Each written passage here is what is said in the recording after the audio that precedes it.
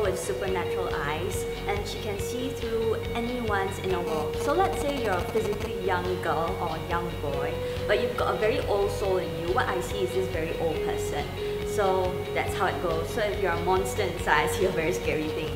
Um, well, I think that uh, in a way, this ability is kind of I don't know, it kind of intrudes in anybody's privacy and I think that it's kind of like revealing a lot of secrets of the other person and if you ask me if I want this ability, I don't think so. It'd be too scary.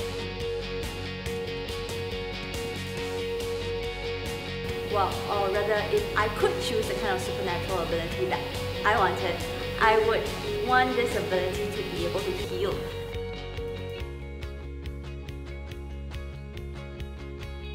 I think when we say beyond, there's this sense of going across and over a certain limit or boundary where maybe this is our comfort zone or maybe this is where we're comfortable in.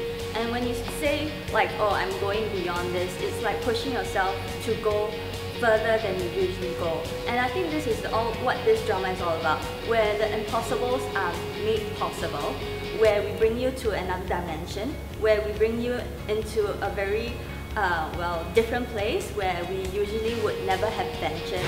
So Beyond is all about like um, crossing boundaries, uh, pushing your limits, and uh, experiencing new stuff that's uh, well in this world, even though we don't even know it. Yeah.